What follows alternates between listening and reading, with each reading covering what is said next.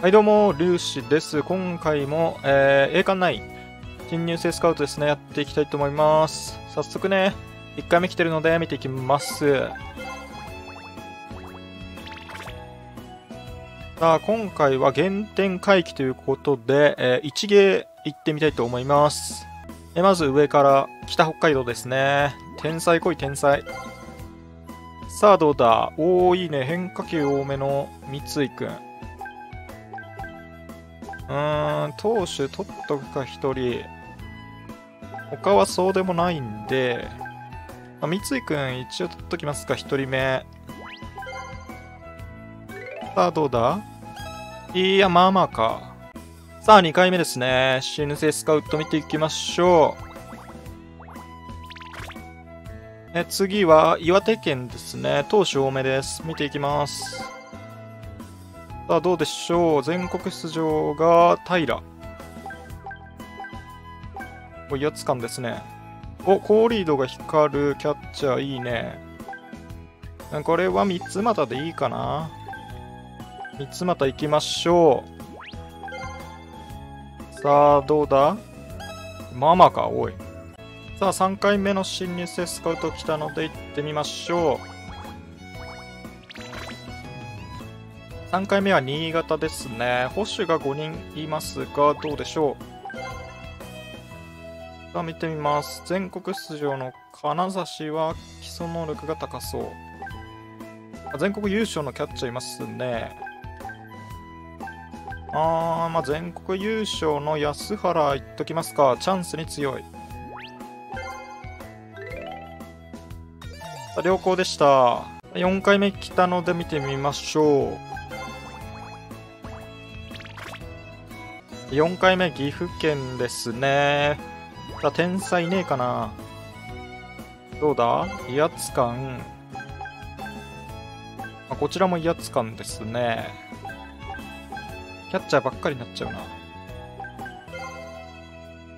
最初に取った2人が来てくれるかはわからないけど、まあちょっとキャッチャーばっかりになっちゃうし、山北はスルーでいいかな。さて5回目の新入生スカウトですね。行ってみたいと思います。今回は静岡県ですね。内外野が多い。さあ、どうだ？全国出場足早いね。芸術的な流し打ち。まあ、古川くん言っときますか。三塁手。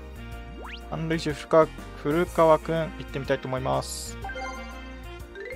あ、どうだ良好でした。さあ、6回目のスカウトですね。見ていきたいと思います。6回目、和歌山県。内野手8人ですね。見ていきたいと思います。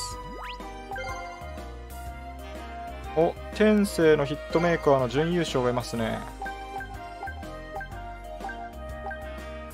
これは確定ですね、今井くん。また三塁手ですが、コンバートさせればまあいいかな。ちょっと投手がいないのが気になりますね。今井くん、行ってみたいと思います。良好でしたね。あとは履歴書でいきたいと思うんですが、履歴書3個しかないんで、今年は9回しか行けないですね。えー、7回目行ってみたいと思います。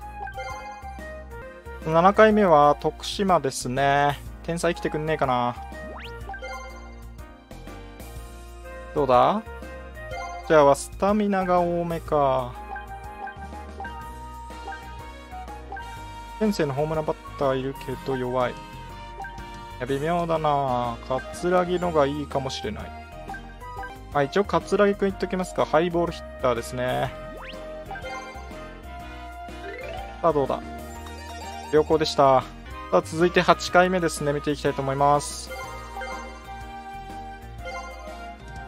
うん、一応、三俣くもう一回行くのもありですよね。高リードが光るキャッチャー。ただ、ピッチャーも欲しい。とりあえず福岡県行ってみますか。投手2人しかいないですが、残ってる1芸で一番投手が多いのが福岡です。さあ、どうだ?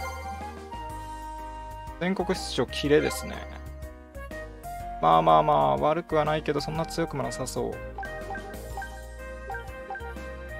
野手はそんな強くないな。まあ、キレ持ってるし、篠崎でもいいですけどね。まあ、篠崎って最後キャッチャーもう一回勧誘する形でいきますか。良好でしたね。ラスト1枚使っていきたいと思います。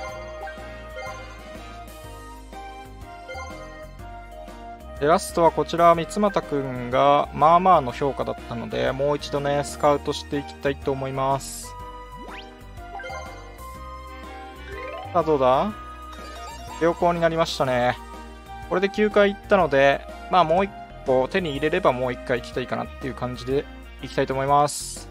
さあ、入学式までやってきました。いい選手入ってきているか見ていきたいと思います。さあ、どうだ？ごく普通めっちゃいるんだけど。えっ、ー、と、7人来ましたね。7人はスカウトした全員分かな？えー、見ていきたいと思います。まずは、篠崎。85手。弱え、いらんかったな、こいつ。うん、さすがに弱すぎるな。キレ持ってるけど。で、葛城、パワーし、ハイボールヒットダメよし、悪くはないっすね。えまあ、すでに打撃能力は強い。そして今井くん、サード。お、アベレージヒッター持ってる。200超えてますね。こいつは強いんじゃないか？そして、古川。総力 C のか乱か。まあまあまあまあ、普通ですね。悪くはないですけど。そしてキャッチャーですね。まず1人目は安原くん。おお、チャンス B、意外性。いいね、基礎能力高い。こいつは外野手で使う感じですね。そして三俣くん。基礎能力はそこそこで、キャッチャー A じゃん。つえー。キャッチャー A はでかいですね。いや、いいキャッチャーを今年も取れましたね。そしてピッチャー2人目、三井くん。3球種の尻上がりか。ああ、野手能力結構強いけど、ピッチャーどうなるかだな。さあ、3人目、真中君はどうだ？おおいいね。緩急に根性。スカウトした2人よりも投手能力が強い。うわ、野手能力も強い。いやー、悩みますね。そして中園はうん、初球丸チャンス G か。まあまあ、普通ですね。そして最後、古宮君。うん、特に特殊能力なしですね。いや、今年はキャッチャーの三俣くんぐらいかな、当たりはっていう感じですね。